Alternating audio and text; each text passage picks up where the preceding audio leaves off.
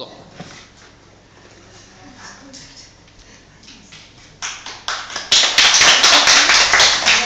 にちは。今日はあの10分間エクササイズ、特にあの体の歪みということをあのテーマにして3つほどエクササイズを入れてやってみたいと思います。えっと今日の講師担当させていただきます柳和子と言います。よろしくお願いいたします。はい。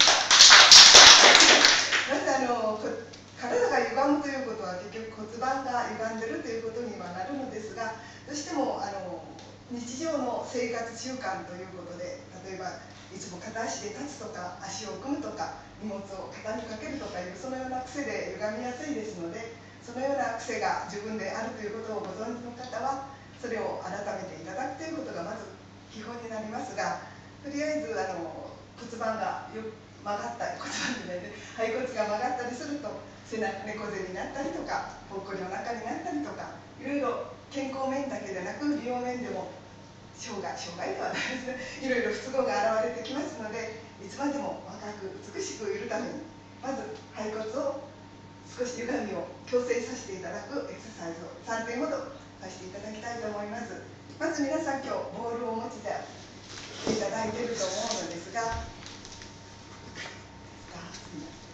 まずこれボールを持たなくてもできる矯正法なんですがこれを持ってあのやるとよりあの矯正力が強くなりますのでやってみたみたいと思います。まず立っていただけますか？このボールを持ってあの上に上げてしっかりとグッと押さえていただけますか？そしてあごめんなさい。足は腰幅に開いてください。でこの持ち上げた時に脇があの肋骨あたりこの辺でね。ずっと伸びる腕からぐっと伸びるイメージでぐっと持ち上げていただけますか？そしてそれをあのあごめんなさい。足はですねできればそれでください。月のポーズというのをさせていただきます。まっすぐ伸びました。あの左右、まあ、今私左にまず曲げますけれどもぐーっと。皆さん右の方に曲げていただけますか？ぐっとこちらの方が脇がぐっと伸びるイメージを持っていただけたらいいと思います。ぐーっと曲げていってください。あと今度は腰のあたりも伸びています。ぐーっと伸ばしてください。はいそして今度ずっとこちらに戻ってきます。この逆の方にぐっと回してください。さっきからずっとぐーっと伸びてるイメージで伸ばしてくださいね。はいずっと戻ります。もう一度左逆からぐっと伸ばしてください。伸びてますか皆さん。はいじゃあまた戻します。で今度逆の方にぐっと。時にもしあれでしたら顔上を向けてぐっとされるともっと効く目があると思います。ぐっと回します。あとこれが一つのポーズです。もっと何回かしていただくといいんですが時間がありませんので次に進めさせていただきます。次はボールは必要ありません。置いていただけますか？で皆さんには寝てやっていただくのですがとりあえず立って私がやってみます。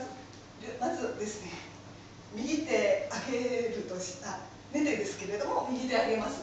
そうすると今度左足の方をあごめんなさい右足です。右手の時は右足。こっち逆にこちらの方45度ぐらい上げてこっちにやります。そして手はこ顔をこちらに向けてグッとやっていただくんですね。逆は今度はこちらですがこれを寝てやっていただきたいと思います。ちょっとうまく斜めぐらいになって寝ていただけますか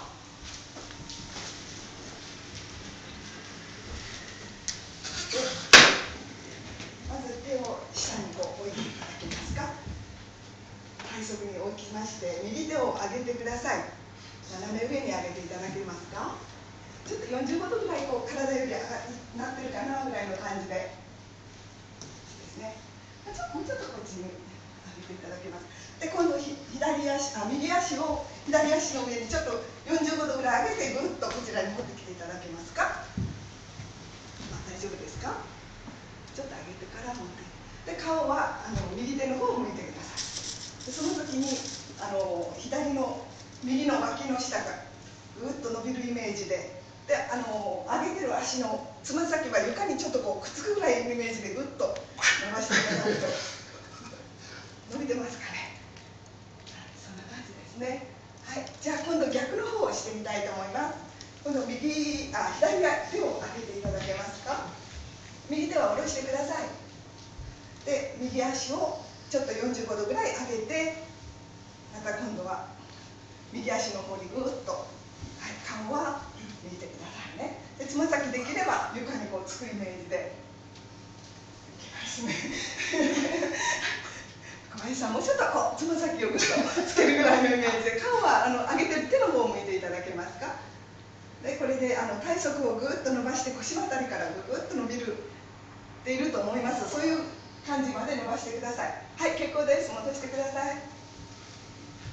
で短いですがこれは終わりです。これはご自宅でまたなさってください。今度は猫のポーズというのをしあ戻ってください。猫のポーズというのをしたいと思います。うつ伏せになっていただけますかあいいです。ちょっと座ったままになっていただけますか？ちょっと私します。えっとですね、猫がや普通のこのポーズ足は足は腰幅に開いて手は肩の下。でできれば手は開いて指は開いた方がいいかと思いますがでこれでですねぐっと前にやりましてあのお尻を突き出して胸をつける感じです。ぐーっと振りますそしてちょっと上げてこれを今度こちらの方にぐっと持っていきます。そしてここの中に体をひねってぐっと入れてこちらの方に手はもうちょっとあれでしたらこちら伸ばします。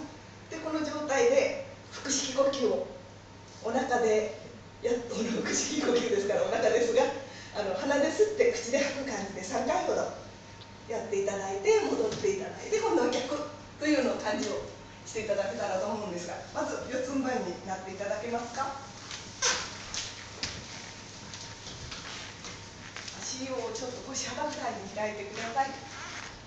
丁寧ですね。そしてぐーっとあの手を前に持っていってそうですね。あの小林さんもうちょっと手をぐっと伸ばしていただいてこれですかね。